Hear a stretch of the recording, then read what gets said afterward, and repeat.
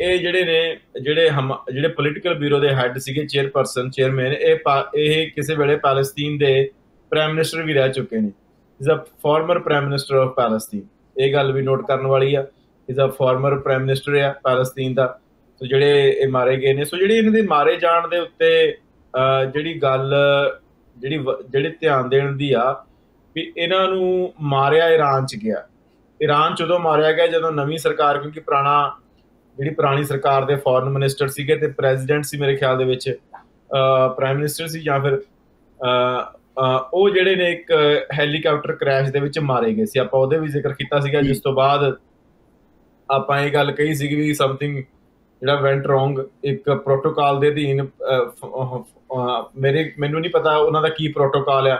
ਪਰ ਮੈਜੋਰਟੀ ਦੇ ਵਿੱਚ ਦੁਨੀਆ ਦੇ ਪ੍ਰੋਟੋਕਾਲ ਦੇ ਅਧੀਨ ਜਿਹੜਾ ਫਾਈਨੈਂਸ ਫੋਰਨ ਮਿਨਿਸਟਰ ਆ ਤੇ ਪ੍ਰਾਈਮ ਮਿਨਿਸਟਰ ਜਾਂ ਪ੍ਰੈਜ਼ੀਡੈਂਟ ਉਹ ਇੱਕ ਜਹਾਜ਼ ਦੇ ਵਿੱਚ ਸਫ਼ਰ ਨਹੀਂ ਕਰਦੇ ਹੁੰਦੇ।